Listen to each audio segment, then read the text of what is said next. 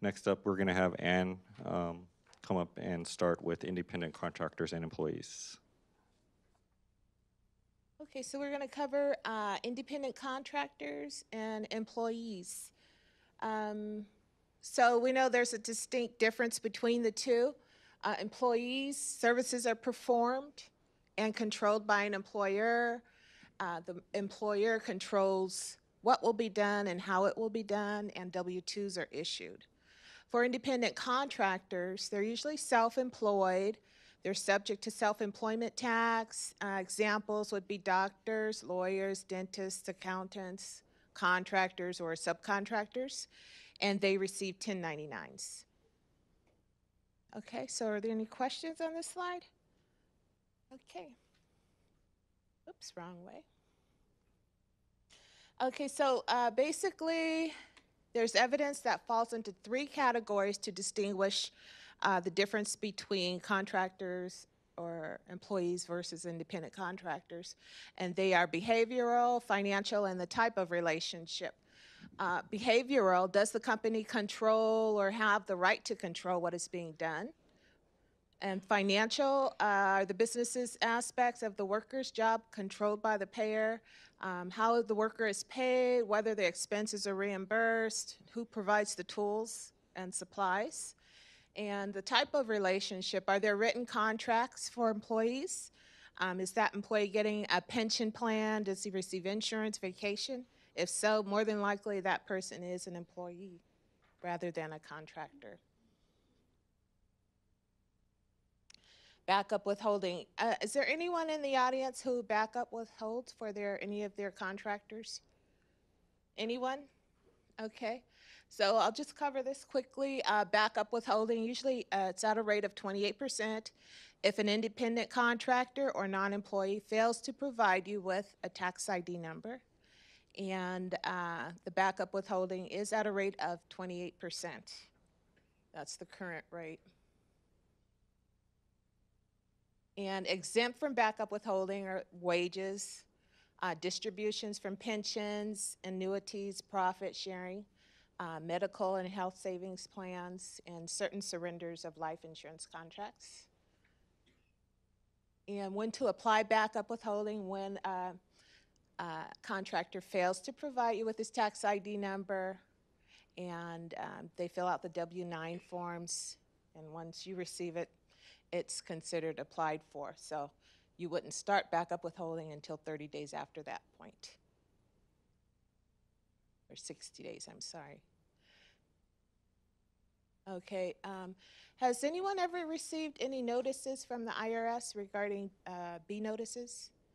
And usually you'll receive them if there's a problem with the social security number, uh, doesn't match the name of the person listed, and it will come with instructions on what to do. And usually you'll start getting these right after the submission, like around February or March, if there's any problem, because the IRS checks the social security number database against the database of names. And if there's a mismatch, then you'll be getting uh, a notification. And those notifications are called B notices. Okay, so now we're going to go over the 1099 schedule and deadlines. And so in the PowerPoint slides, we have a schedule here. This one has been updated. I think there was a typo and the first box um, where it says run 1099, the preliminary reports, request the pre-list for tax year 2017. Make sure you see that 17, I think uh, before it had 2015, but make sure you run it for 2017. And the cutoff for doing that is January 12th of next year. You want to make sure you put that on your calendar, because if you miss that deadline, then each district will be responsible for um, submitting manual corrections. Okay, um, we plan to have the 1099s available to the districts on January 26th, and they must be postmarked by January 31st. The deadline for filing with the IRS with the copies of Transmittal A would be February 28th. Are there any questions on this slide? Question?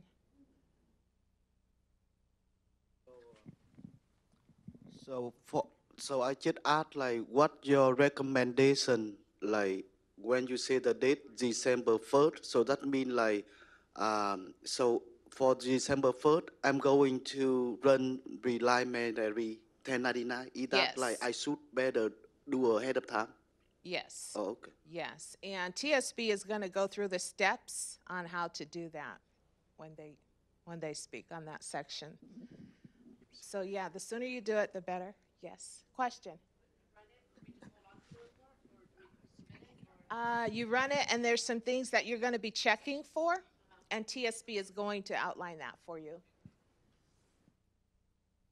Okay? All right.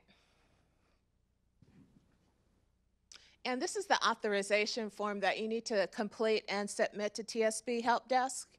And so you want to make sure you fill this out and submit it by January 12th.